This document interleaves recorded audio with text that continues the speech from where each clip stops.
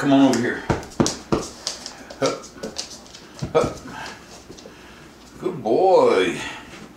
Now how's my buddy doing? All right, here we are.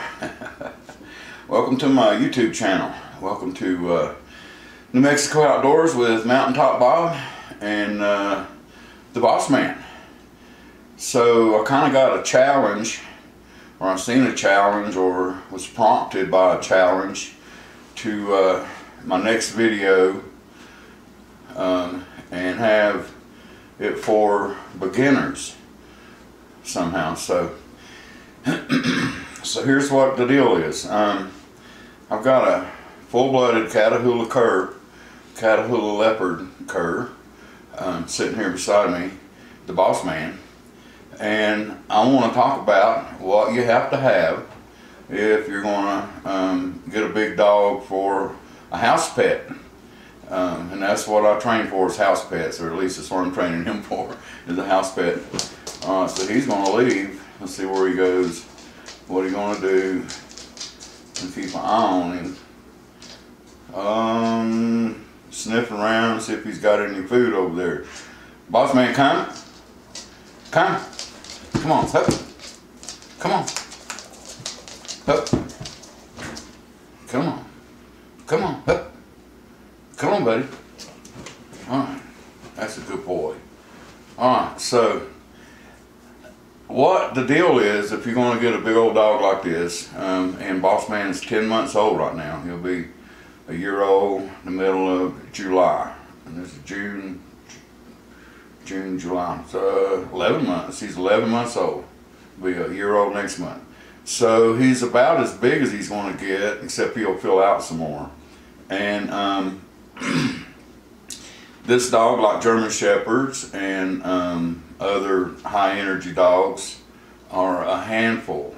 And so if you've never had one, um, this video is dedicated to telling you what you need and the things you need to do to um, encourage uh, your big dog to be a, a, I don't know, somebody fun to live with. And Boss Man is. He's a lot of fun to live with. Um, you have to be patient and it's, it's important for folks to make the decision, are they going to have the time? They're going to have the ability um, everything necessary to bring a dog like this along because if not, oftentimes they'll end up on a chain in a backyard, um, maybe in a kennel, in a garage, and when you do that and you don't spend time with them and you just leave them there day after day, it just rips the heart and soul right out of them. Um, and I hate to see that happen. So that's kind of what this video is about. If you're a beginner dog owner, um, what you have to do and what you can expect. I'm going to go over all that stuff to get him this far. Um, in the beginning of this video, there's some playtime outside, and that's also um, used for training. Um, but we've kind of held back on that because this dog is so aggressive.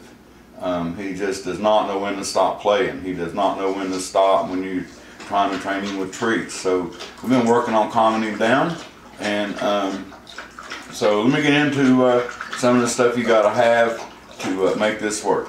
Boss man, come. Come. Come on. Come here, buddy. Number one thing, up, come on, up, up, come on, up, up. Good boy.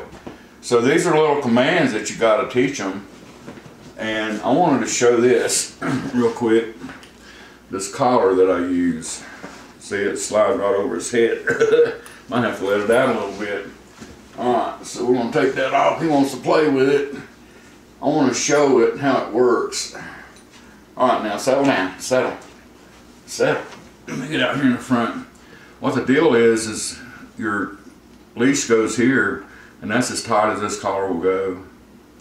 Um, so what this does, is it lets them know that you're there it's all it's all I've ever needed. Um, it's called a martingale. Um, so that's what I use for training. And again, I'm training a house pet. I'm not training a guard dog. I'm not training a um, um, search and rescue dog this time. I did train Gypsy for search and rescue. So need a collar. Um, whatever you choose, research it, know how to use it. This is my favorite one right here, but that is a tool. And it needs to do more than just hang around his neck for something to hang um, his um, tags on. Alright, so what we going to do next, boss man? Hmm? We need to move on, don't we? Let's show the next thing we need, right? Okay. Let me see how I can do this. Alright, so the next thing you gotta have is a kennel. Um, before you bring a puppy home, get a kennel. Make sure it's big enough that it will um, be able to handle that dog when he gets full grown. And then you gotta teach the dog to get in it without having to uh, put your hands on him because dog that big, you think I'm gonna put him in this kennel?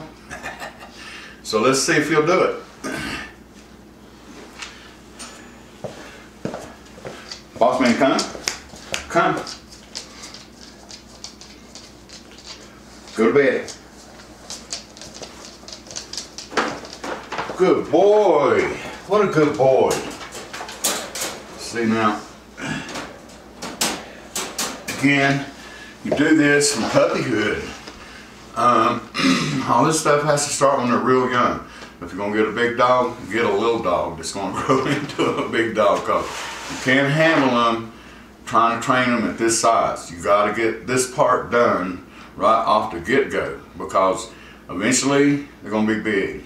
Um, I don't know if you can notice my arms this far away, but we have put up with a lot of scratches and we're old, so we have uh, skin that tears easy and he's notorious to tear your skin with his dew claws. Um, not so much with his teeth, he's really gentle with his teeth, although he will put them on you from time to time. You'll feel them. Um, but, um, and all big dogs, all of them, no matter which breed or if they're mixed breed or what have you, they all have their own little personalities, things you have to learn about. But the main, the main basics for a beginner is you have to be able to handle your dog. And that starts when they're little. All right, so I'm gonna move on to um, how we get them to this place right here. Well, first of all, um, when we brought him home and Gypsy alike, we had a, this was Gypsy's kennel her whole 13 years, and now he's inherited it. Um, Gypsy's in another video on my channel. A German Shepherd that I had for 13 years, I still miss her. Wow. anyway, so um, we've had these kennels, and from the minute you bring them home, you put them in there, and you make them stay in there at night um, every night, every single night. And then if you go anywhere and you leave your dog at home, it has to go in there. Now you have to understand that you got to kind of take the weight of the dog and the size of it is, and that'll kind of give you a gauge on how long they can go without going to the bathroom, without having to go pee or poop or whatever. Um, so you got to keep that in mind. Now, boss man at this point, you can see him, he looks at me every time I say his name. Um, we go to Albuquerque and sometimes we go on six, maybe eight hours, and he, he does fine in here. Um, but we don't put him in this kennel unless we really have to. If somebody comes to the door, I want him in here. I don't want to have to worry about him nipping somebody that he don't know. I don't trust him yet. He's still a puppy. Um, if, if for any reason that anything's going crazy around the house, this kennel is where he goes. If somebody comes here to work, if somebody's just visiting, whatever, if he don't know him and he acts funny, then he has to go in here. If the UPS man comes, he goes in the kennel. So, and you have to make them, get them where they'll go in there easily. You don't want to have to fight with your dog. I hate that, you know, and it's not good for you. It's not good for the dog. It's just, it's just going to put you in a situation where he's going to end up in this kennel in a garage and you won't look at him but maybe long enough to feed him once a day. And again, that just rips the heart and soul right out of them. These guys have so much to offer. All right, so I'm going to move on and show you how to get this far um, with training. And you've seen what we were doing outside um, in the beginning the video.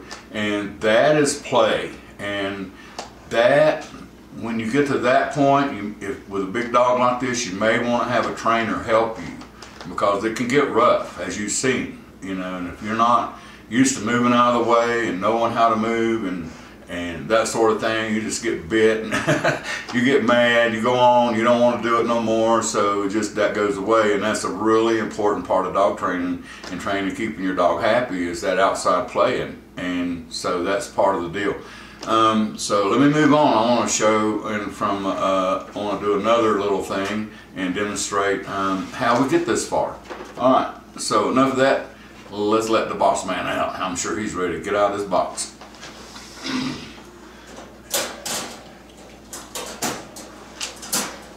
All right, buddy.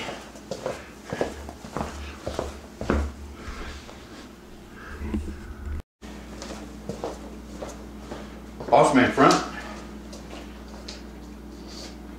Sit. Yes. Good boy. What a good boy. Down.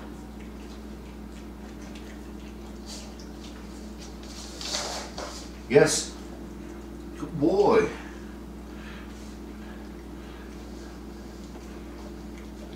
Boss man, stand. Stand. Stand. Yes.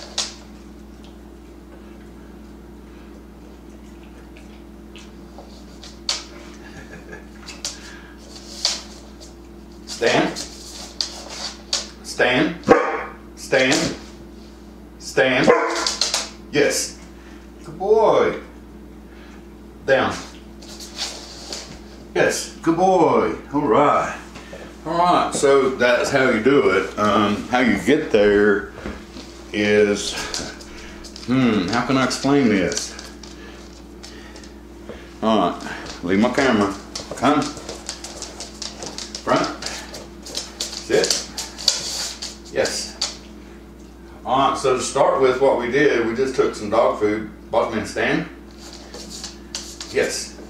And we just kind of went over back his head like that. When his butt hit the ground, we said sit and yes, gave him a treat. And then when we wanted him to go down for the down, we did the same thing. Down. Yes. There you go. Now, stand, stand, stand. And you can see that one we just have to work on so we get him to figure it out. Stand. Come on, stand. Yes, boy. Close enough. All right, now, you also want to teach them to speak. I want to do it for, it's a trick, but when we're in a motel room, I like them to speak without voice command. I like to do it on hand, hand signals. So how we do that? you see how rambunctious he gets. And this, this is the whole point of starting young. So you can get some of this out of the way before he gets so rambunctious. All right. Speak. Speak. Yes. Good boy. Speak. Speak. Speak. Speak. Good. Yes. Good boy. I like it to be loud. Alright. And one other thing, one last little thing I teach. Let me see how I can get in front of the camera. I think you can see it right there. Alright, now, you always want your dog watching you, so you can just take a treat, one in each hand, put it out here this way, and see, he ain't looking at my. He's looking me in the eye. Watch. Yes. Speak. Speak. Yes. Good boy. you dropped it. All right, so that's how that works. Boss man, come. Hup. Uh, so there's another command, hup. Um, puts him where I want him. Um, usually up somewhere. When I put him in the truck, I use that command. Um, I want him on the couch, I use that command. I want him in this chair, I point at it and use that same command. And eventually, I'll be using that at the vet's office to get him up on the weighing table or wherever they want him. So these are the important things that a beginner big dog owner needs to know. And it's it doesn't matter if it's a Rottweiler, it doesn't matter if it's a Doberman, it doesn't matter if it's a German Shepherd. Oh boy, I could just name off any long list of dogs. Now he's behind the couch because it's cool back there. Um, and it is hot here today. So I'm not going to bother him anymore, but I am going to talk just a little bit longer. Again, um, to me, these dogs are precious. They're smart, they're capable, they're able, they learn. When I teach my dog to be a pet in the house, again, it's a pet. Um, I use sentences. Uh, a lot of people say you use one words, like, and I do somewhat, like, you know, for sit, down, stay, stand, watch, and all that. But if I want to go to town, I use a sentence. You want to go to town?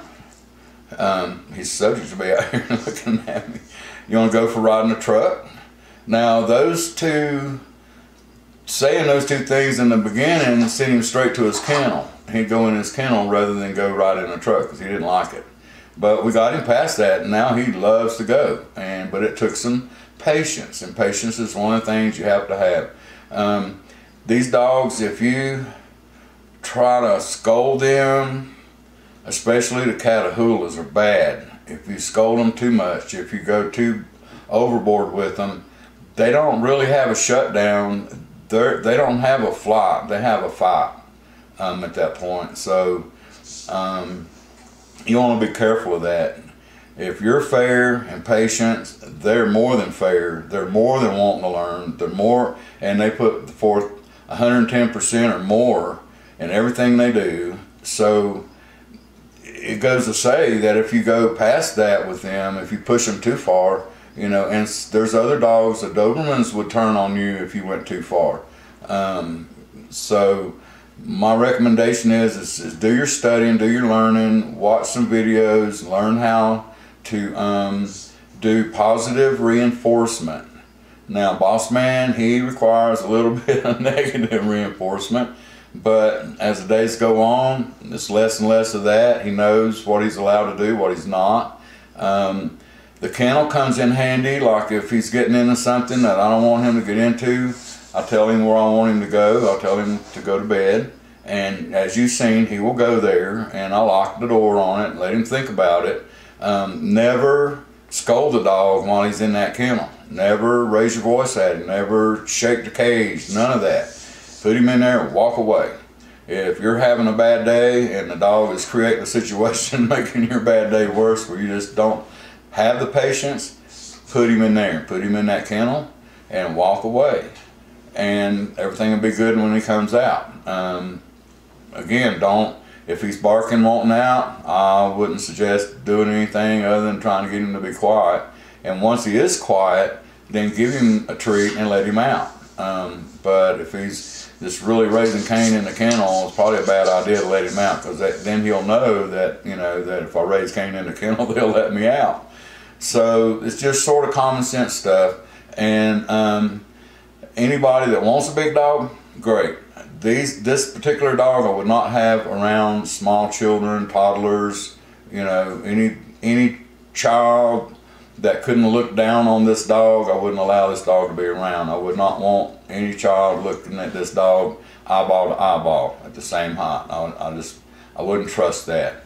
So um, now as time goes on, when he gets fully grown, he gets fully trained, he gets fully, you know, um, socialized, that will change. But in the beginning, um, these you have to be very careful because they get big really fast. So um, let's see, I'm really running long here, but it is kind of an important um, subject. So I guess I'll just touch on the basics, collar and leash, um, and start that with when they're young because you don't want them yanking you down. And I didn't do enough of that with Boss Man because we're wide open spaces out here. Um, on the other hand, I'm able to handle him quite well without a leash. He comes to me when I call him, um, just about every time. Um, let's see the kennel, gotta have a kennel from the get-go. That's the dog's safe place. It becomes his safe place. It's where he'll go. You'll feed him in there, give him water in there. We don't boss man anymore. The kennel is only used now for him because he's getting so good about things. We don't lock him up at night anymore. He sleeps here on the couch, and that means he's out. And so, and he's watchful. So, and that's what he's for. He's my pet, but he's my watchdog. He lets me know. Um, we raised him around our cats and we don't have any trouble with the cats and that's an issue that you have to really work on from puppyhood. Um, if you let them grow up and keep them separated then most likely your cats or, or other small um, pets won't be um, um safe. But if you can uh, get the puppy and then raise the puppy with these other animals um, smaller animals that seems to work every time Let's see what else. Um, cuts and bruises. If you're older and you got skin that tears easy, you might want to consider a small dog because um, you're constantly going to be getting skin tears and it takes a while for them to heal. When you get, luckily when you get older, you don't feel it so much. It's not like, you know, you don't have that much feeling in your skin and it tears real easy, but um, that's an issue. Um, and not from the teeth so much, but from the dew claws and their paws. Um, they have big dogs have big paws, and the Catahoula cur especially has extra dew claws. So let's see what else. I want to try to make this as thorough as possible. Hmm. I guess that's about it. If you want to go further and train your dog to be more than just a companion a dog that you can put in your vehicle and go someplace with, that you can stay in a motel with. If you want to um, make your dog into an attack dog or a serious guard dog or any other highly trained dog, I would I would I would um, recommend going to a professional. However, um, all dog trainers aren't equal, so be careful there. Make make sure you do your research and find out. You know, find get some um, some um, references from people's dogs. you want to see some dogs that these, these people have trained um, is, is what the best way to say it. All right, so that being said, um, this is my video for um, beginners. it was a um, kind of a, a, thing I seen on the internet this morning. They said if your next video, make it about beginners. So this is beginners, um, beginner um, big dog ownership. All right. Um, anything else I want to say? Probably not. So, and I'm not real good at getting on and off the camera on YouTube. So that's why I started shooting videos and just leaving me, leaving me out of it. but this is important and I want to get in and I wanted to visit. And one last thing before I go, I want to get this right. I had a video that brought me up to 4,000 viewing hours um, gave me about half of them. And it also gave me about half of my subscribers that I have, which is 485, I think, somewhere in there. I'm not sure. I can't remember. Maybe it's 28, 428.